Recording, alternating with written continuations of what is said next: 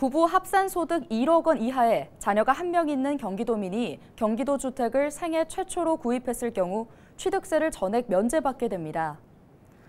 경기도는 이런 내용을 담은 경기도 도세 감면조례 일부 개정 조례안을 오는 11일 공식 공포할 예정인데요.